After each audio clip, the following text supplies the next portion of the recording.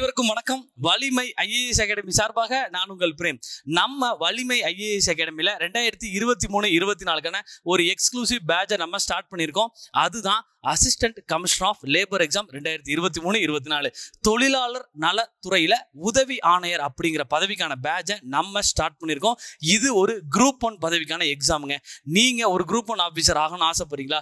ரெண்டாயிரத்தி இருபத்தி நாலில் அரசு வேலையில் இணையணும்னு நீங்கள் ஆசைப்படுறீங்களா? நீங்கள் செய்ய வேண்டியது ஒன்றே ஒன்று தான் நம்ம வலிமை ஐஏஎஸ் அகாடமியினுடைய அசிஸ்டன்ட் கமிஷன் ஆஃப் லேபர் எக்ஸாமினுடைய கிளாஸஸ் அண்ட் டெஸ்ட் பேட்சில் நீங்கள் ஜாயின் பண்ணுங்கள் நிச்சயமாக ரெண்டாயிரத்தி இருபத்தி நாலில் நீங்கள் ஒரு அரசு அதிகாரியாக வள வரீங்க ஓகே சார் இது எல்லாமே சொல்லியிருக்கீங்க.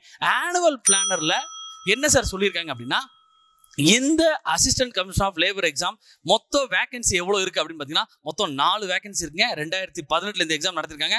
ரெண்டாயிரத்தி இருபத்தி மூணில் ஒரு சிலபஸ் எக்ஸ்டென்ஷனோட இந்த நோட்டிஃபிகேஷன் வரப்போகுது. கூடிய விரைவிலேயே நல்லா நோட் பண்ணிக்கோங்க. இந்த எக்ஸாமுக்கு யாரெல்லாம் எலிஜிபிள் அப்படின்னு பார்த்தீங்கன்னா நீங்கள் டிப்ளமோ இன் லேபர்லாம் முடிச்சிருக்கணும் அல்லது டிப்ளமோ இன் சோஷியாலஜி முடிச்சிருக்கணும். இல்லை சார் நான் ஒரு பிஎஸ்சி பிஏ டிகிரி தான் அப்படின்னா நீங்கள் டிப்ளமோ இன் லேபர்லாம் முடிச்சிருந்தீங்கன்னா நிச்சயமாக இந்த எக்ஸாமுக்கு நீங்கள் எலிஜிபிள் ரெண்டாயிரத்தி இருபத்தி நாலில் நீங்கள் ஒரு குரூப் ஒன் ஆஃபீஸர் தேங்க்யூ